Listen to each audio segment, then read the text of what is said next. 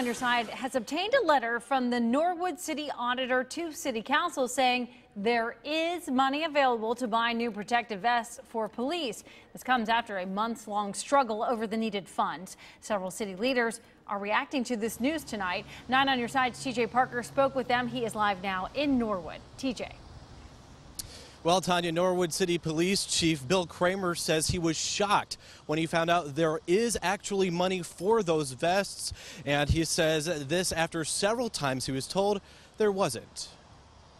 I don't know exactly what happened. And honestly, I don't know where we go from here. Norwood Police Chief Bill Kramer says this letter outlining to City Council that there is money available in the budget to purchase protective vests came as a surprise. Uh, am I happy they found it if they actually have found it? Yeah, of course. Um, I'm thrilled that we can get the officer's vest. I just, I don't know where we go from here. I don't feel right putting in a purchase order if the money is actually not there. And that's just it. City Auditor James Stith tells Don on Your Side just because it's appropriated doesn't mean the money's there. But budgets are put together based on expected income. Chief yeah. Kramer says he went to the City Council in January saying the protective vest's warranty would expire in August and he needed $19,000.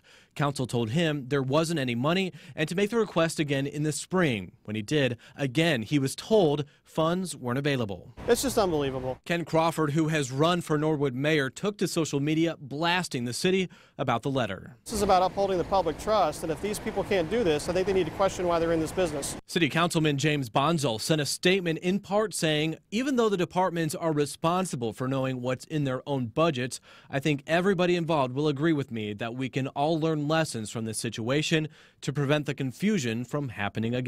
It's just a bad situation all the way around.